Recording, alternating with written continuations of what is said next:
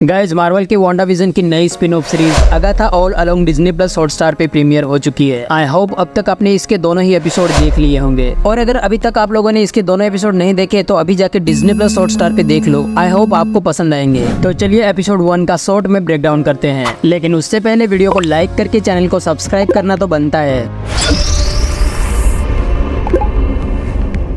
Guys Agatha all along की कहानी वहीं से शुरू होती है, जहाँ पे वांडा विजन सीरीज़ का क्लाइमैक्स हुआ था।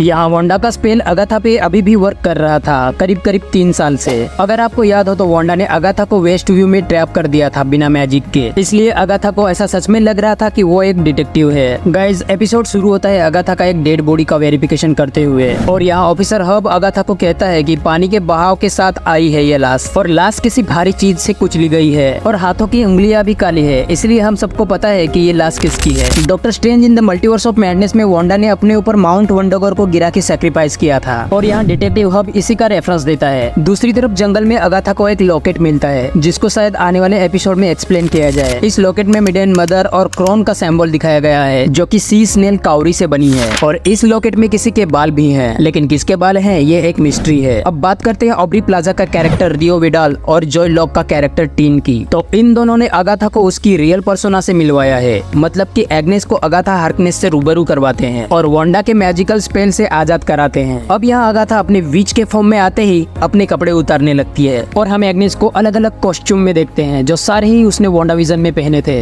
इसमें वोंडा के कई सारे रेफरेंस भी देखने को मिलते हैं, जैसे की डेड बॉडी के हाथ की काली उंगलियाँ, जो डार्क होल्ड यूज़ करने से काली होती है, वोंडा की ब्राउन हेयर और वोंडा की साइन के साथ एलिजाबेथ ओल्सन की डेट ऑफ़ बर्थ और लाइब्रेरी कार्ड पे डार्क होल्ड का फुल फॉर्म का रेफरेंस, जो था dialogue and rhetoric non history of learning and debate इसके अलावा वोंडा विजन में दिखने वाले कैरेक्टर्स जैसे डोटी हेरोल्ड नोम और जॉन इन सब का रेफरेंस देखने को मिलता है। एक और नाम भी दिखाया जाता है निकोलस क्रैच जो पास्ट में अगाथा का बेटा था शायद। और रियो वाइडल का अगाथा का हाथ चाटने के बाद एपिसोड यही खत्म हो जाता है। तो गाइज़ ये था मेरा छोटा सा break down Agatha all along episode one का। आई होप आपको ये पसंद आया होगा। अगर पसंद आया हो तो आपको पता है क्या करना है। एपिसोड टू का जल्द ही ब्रेक डाउन करूँगा। तब तक के लिए स्टे मैजिकल स्टे मावलस